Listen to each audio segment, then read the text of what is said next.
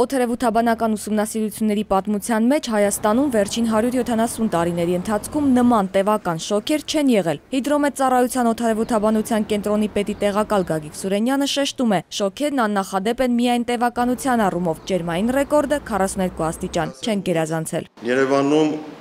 ըստ վիճակագրական տվյալների 40 աստիճան լինում է միջինը 5 տարին մեկ անգամ։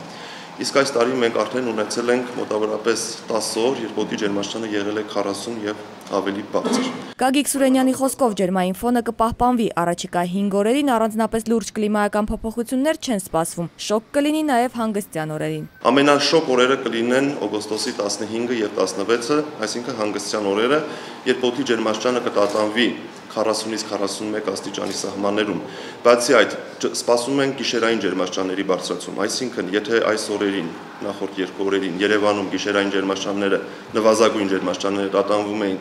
22-ից 23 աստիճանի սահմաններում, ապա արդեն օգոստոսի 15-ին եւ 16-ին օդի ջերմաստիճանը գիշերը 27-ից 28 աստիճանից չի նվազի։ Օգոստոսի 17-ին եւ 18-ին օդի ջերմաստիճանը 1-ից 2 աստիճան կնվազի, տատանվելով 39-ից 40 աստիճանի սահմաններում։ Սակայն օգոստոսի 19-ից օդի ջերմաստիճանը կրկին կբարձրանա եւ 3 օր կրկին կտատանվի 40-ից 41 աստիճանի միջև։ Հիդրոմեծառայության օթերևութաբանության կենտրոնի պետի տեղակալը հորդորում է օրգանիզմը ջերմային սթրեսի չենթարկել։ Դրա համար պետք է ցերեկային ժամերին խուսափել ուլտրամանուշակագույն ճառագայթներից եւ հեղուկ շատ օգտագործել։ Գաներ Ղազարյան, ժամը լրատվական։